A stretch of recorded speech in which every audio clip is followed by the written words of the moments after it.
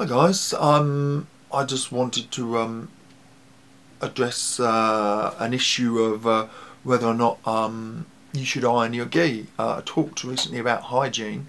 Now, um, uh, some people, it seems to me, um, seem to take some pride in having very dirty gis, that it shows how hard they've worked or how much they've sweated.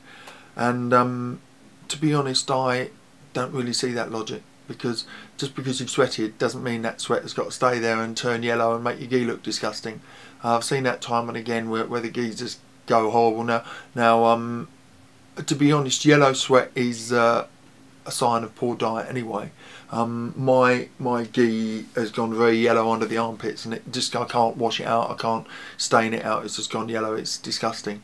Um, but the general gi, my my general body sweat um, doesn't make my gi go yellow. I wash it as soon as I sweat in it. I, I wash it.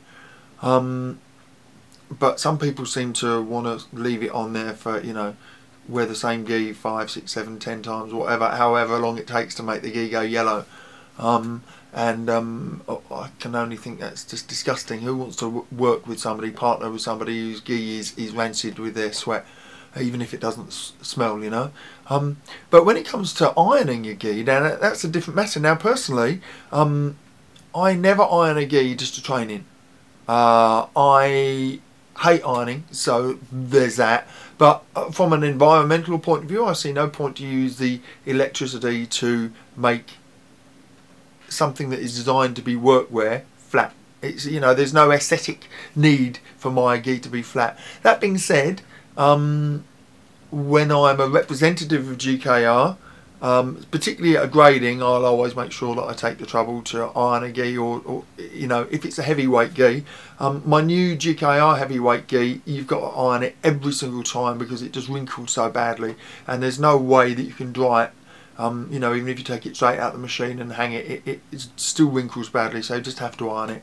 But the older heavyweight gis, they kind of, you, you, hang them over the bath and then have a bath, and, and the steam, they just, the, the, wrinkles kind of come out of it a bit, and it doesn't look too bad. And I wouldn't mind being in front of students like that um, at all, but, but obviously if you look like a scruff bag, then that's a different matter. You know, you are representative of, of a club, and you, you want to be professional in, in the in the um, image you give. But whenever I'm in sensei training, I feel absolutely no compulsion whatsoever to iron my gi. In fact, quite the opposite. You know, I, I feel that it's um, helping the environment, and um, I, yeah, you know, I, I, I, know lots of people who, who feel the same. So it's your choice, you know, if you, to iron or not to iron. But but I, there's there's no there's no etiquette reason why you should. Um, that being said, I guess um, if you wanted to get really into the philosophy of the Do of karate, you could talk about the perfection side where, where you want everything to be just so. I mean, um, Japanese culture, uh, Japanese Budo culture is, is steeped in ritual, and um, I don't know if there is a, a, specific ritual to having ironed clothes or clean clothes. Um, certainly there are rituals for how you fold a gi and how you tie a belt, so it wouldn't surprise me if there was some ritual associated with with um, gi cleanliness and gi ironing, but, but, if there is, I don't know of it. Um, perhaps if you know of such rituals, you might share them with me. Thanks, guys. Hey guys, thanks for watching. Hope you enjoyed the video. If you did, please take the time to rate and comment, and it would mean a lot to me if you would subscribe. Thank you.